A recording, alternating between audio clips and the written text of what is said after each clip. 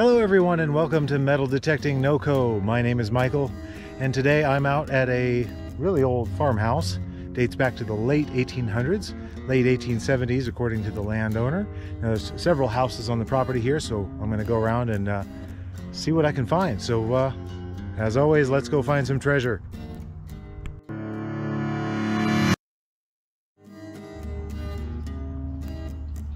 All right, ooh, this has been here a long time. Got a 22 casing just literally falling apart in my hands. Put that in the bag. See what else we can find. All right, so I found some nails, lots of nails, some 22 casings, but uh, I think I just found my first coin. Let's see what we got here. It's, it's a Wheatie. It's a Wheatie. All right, let me clean this up. I'll come. All right, I cleaned it up. Looks like 1929. That's pretty cool.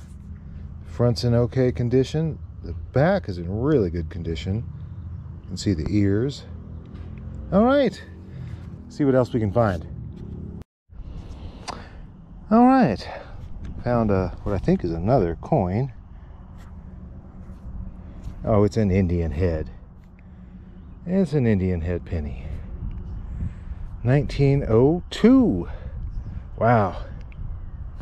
This house was probably already 40, 40 years old at that point. 1902. Let's look at the back. Oh, that's in nice condition. Wow. Didn't even have to clean off the back. I hope you can see this okay. So that is nice. Yeah, back is really nice. Cool. All right. All right. Well, I just got a really good signal here in uh, at the middle of the yard, away from the house. Lots of nails up close to the house, and I can't wait to see what this is because it looks silver. I see two. Let's come around this way so you can see it. I think I see two pieces of silver. There's one right there. There's one right there. Let's try this one first. Oh, yeah we got 1949 Rosie dime. Let's get a better shot on that. Here's our first piece of silver out of this yard. Really good condition. And then piece number two is an, oh, it's a Mercury. We got a Mercury.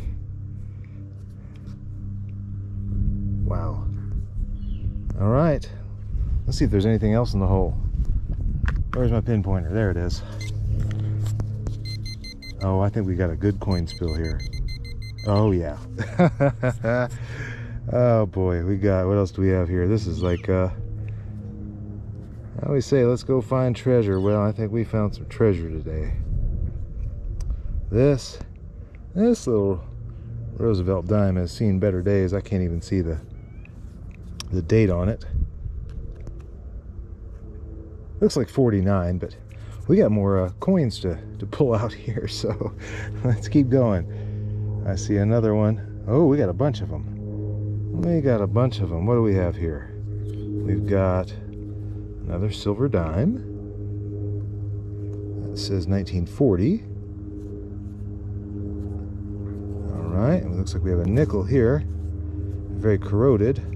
Hey, it's a buffalo nickel. Cool. Okay, as you probably know, if you know anything about buffalo nickels, we got to clean this up if we're going to get a date on it. So uh, let me keep checking. I'm gonna I'm gonna hold on to the nickel for a second. Let's check the rest of our hole here. Oh, we have more. Wow, this is quite the uh, coin spill. There we go. There's another one. And it's another Merc. oh, this is great. This is great. The homeowner is going to be so happy. I don't know how much he cares about uh, old pocket change, but uh, I'm sure excited. 1944 on this Merc.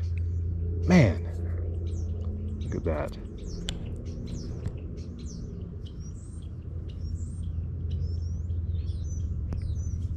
Okay. I keep wanting to uh, clean up one of these coins here, but we gotta keep checking the plug. Are we done? Is there more down there? Oh, I think that's it. All right. All right, got another coin here. Haven't looked too closely at it, but I want to show you the imprint first. Let's see if we can guess what this is just by the imprint.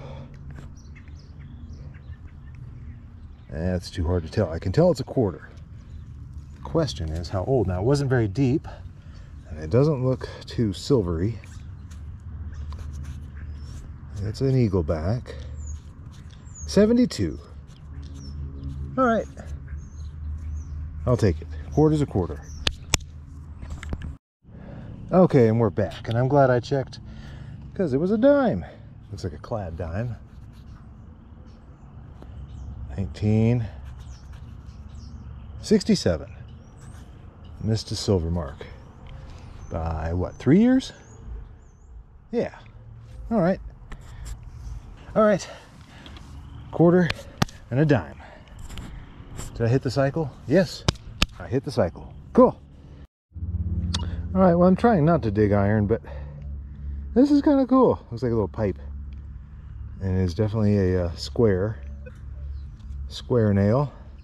Seen better days, but it looks pretty good for its age, don't, don't you think? All right, this was a really jumpy one. Sounded really dirty, but I thought, you know, something about it tells me we should dig it. Let's see what that is. Oh, it's a Jefferson. 1945 with the uh, D over the Monticello. Cool. I forget what uh, percentage silver these are. I don't think they're 90% like the dimes and the quarters, but they got a good chunk of chunk of silver in them. Not too bad. Looking good, Thomas. All right.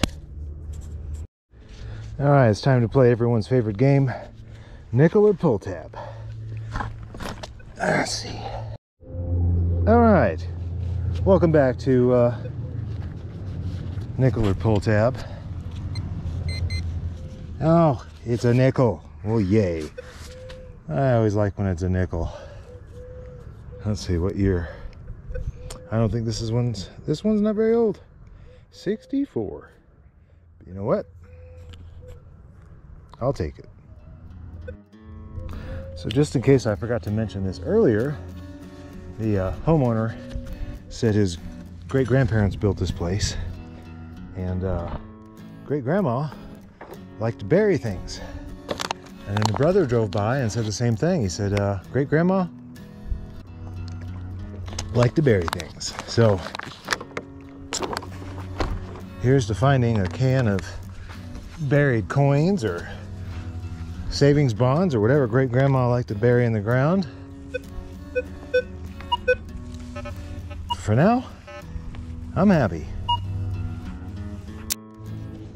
All right, I'm guessing dime, modern dime, or modern quarter. Let's see what we got here.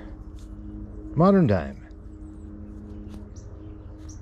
Modern dime. All right. Keep going. All right, well, house number one was a lot of fun. I think it's time to hit house number two. Um, believe he said it was 1870s, but I can't be sure. But uh, look at the size of that tree. I don't know if you can tell how massive that tree is. I think I'm gonna start there first. So uh, let's go find some more treasure.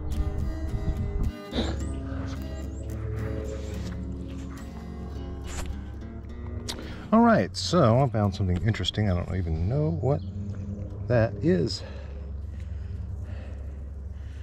You know what it looks like? Suspender clasp.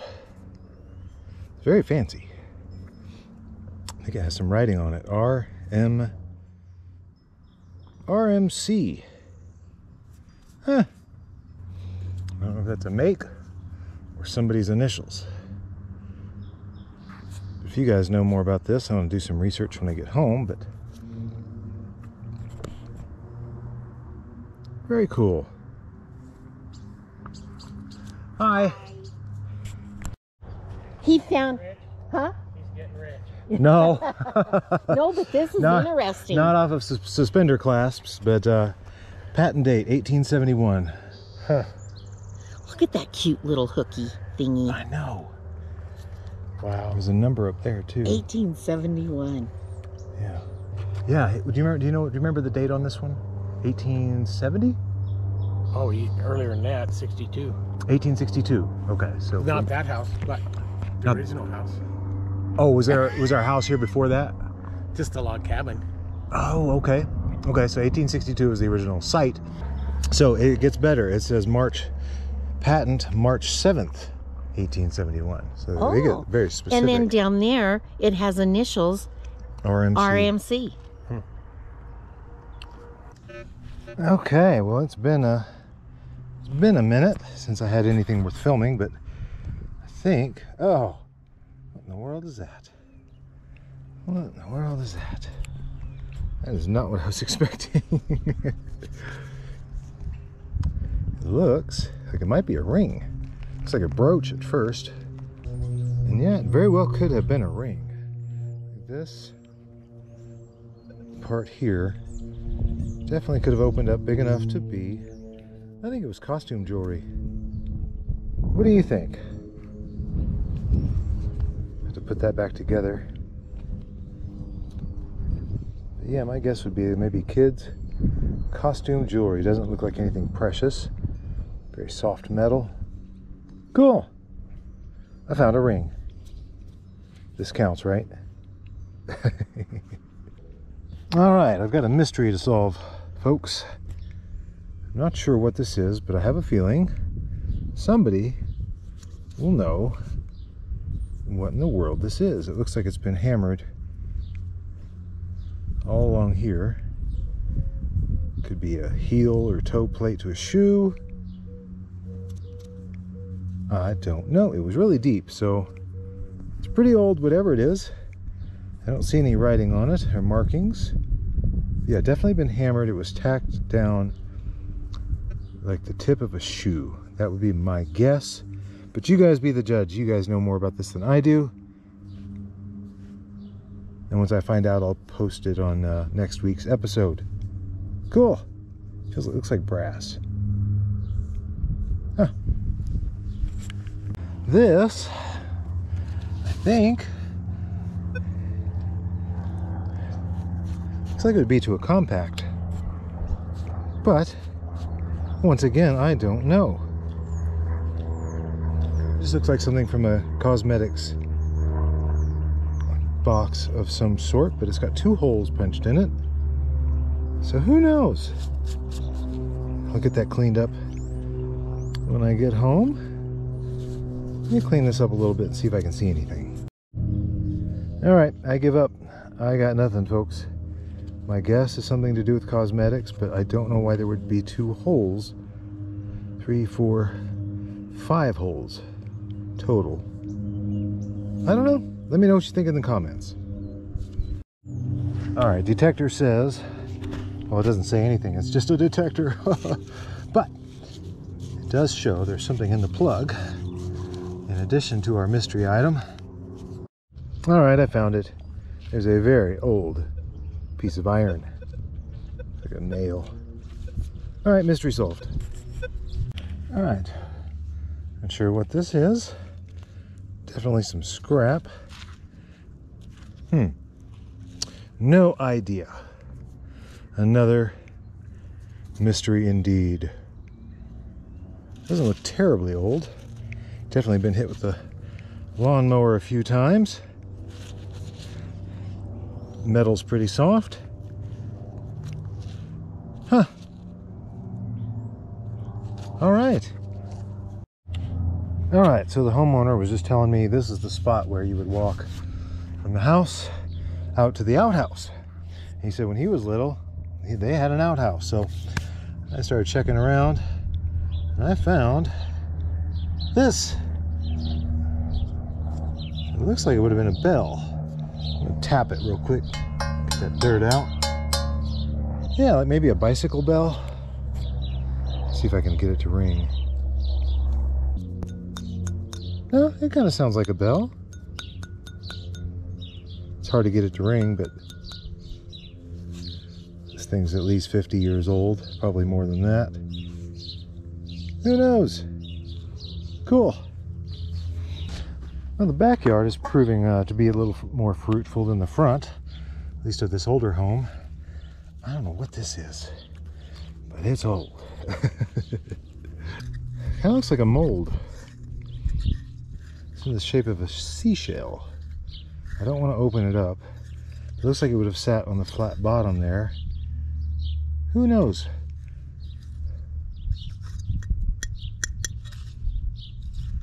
I guess is aluminum, so. All right, cool. Let's see what we got in the plug here.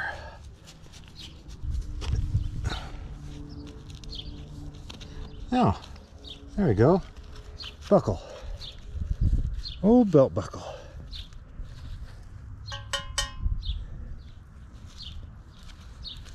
This may have been the homeowner's buckle.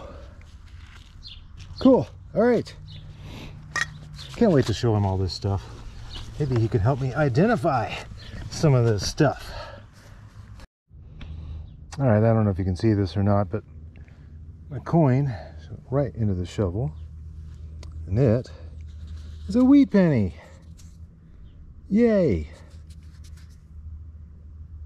Pretty good condition on the back. Front has seen better days. Let's see if we can get a date on this. 1951.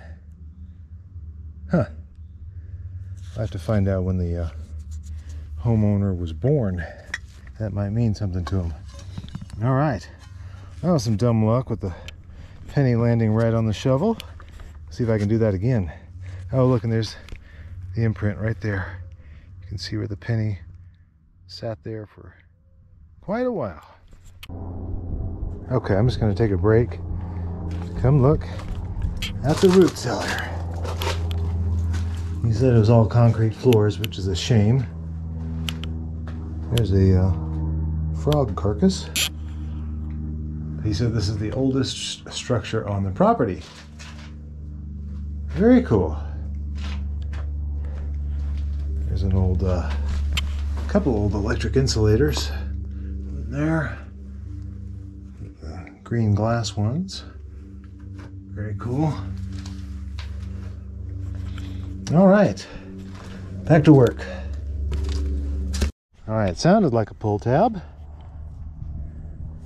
Oh, it's not a coin, it's a button. It's a button with a flower on it. You know, be a metal button. All it's, right. a, it's a metal button. My golly. All right, well, this one's not too terribly deep, so I don't think it's anything ancient. No, it's a clad 1980 quarter. All right. All right, ladies and gentlemen, this is a wrap. It was a great day out here at this farm in Colorado. We've got uh, some junk pennies, two wheat pennies, Indian head, uh, silver nickel, metal button there. Got our uh, buffalo nickel. Maybe we can clean that up later and get some close-ups. Still can't get the date on that. The date is completely worn off. Junk nickel, three clad dimes, five. Five silver dimes made my day. We've got our costume jewelry from, I don't know, I'm just guessing 20s, 1920s, 30s. We've got our 1871 suspender clasp. Found a uh, belt buckle. Got uh, this mystery cup here. Another mystery item. Not very much trash. I, I'm impressed. I managed to avoid the uh, usual amount of nails that I usually dig out. Um, again, I think this is to a, some sort of cosmetics, but I will let you guys be the judge. Let me know in the comments what you think that is. Our bicycle bell. Are we missing anything here? I think that's it for now. So thank you so much for watching, and we'll see you next week. Hey everyone, so if you enjoyed watching this video as much as I enjoyed making it, please take a moment to click that like button. It really helps me out a lot. If you really like what you saw, please click the subscribe button. And if you'd like to be notified each time I upload a new video, click the notification bell. Thanks for watching.